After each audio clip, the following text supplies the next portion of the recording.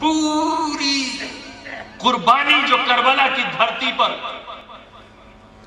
नन्हे से बच्चे को लेकर जा रहे हैं। छह माह का अली असगर।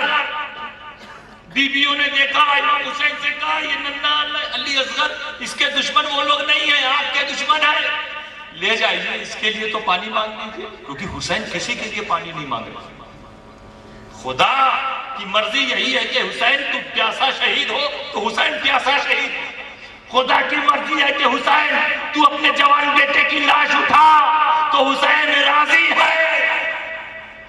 बात इस पर आ गई है कि शरीयत की हिफाजत की जाए या अपने घरों में बैठा जाए। इमाम हुसैन ने घर के सारे आराम को छोड़ दिया शरीयत की हिफाजत के लिए कभी भतीजे की लाश उठाई, कभी भांजे की लाश उठाई, कभी नन्हे अली असगर की, कभी जवान अली अकबर की। अली अकबर को छलनी कर दिया गया था। इमाम हुसैन से इजाज़त लेकर मैदान करबाला में पहुँचे।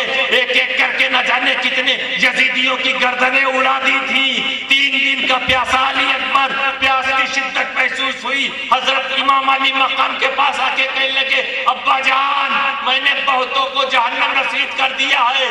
मैं एक भी यजीदियों को नहीं छोड़ूँगा। बाबा जान, आपको जाने की ज़रूरत ना पड़ेगी। बस मुझे थोड़ा सा पानी दे दीजिए। प्यास लगी है। अगर एक घूट पानी मिल जाए तो इन यजीदियों में से कोई बचेगा नहीं। बेटा यही वो चीज़ है जो मैं आज तुम्हें दे नहीं सकता। एक कतरा पानी भी खैमा के अंदर नहीं।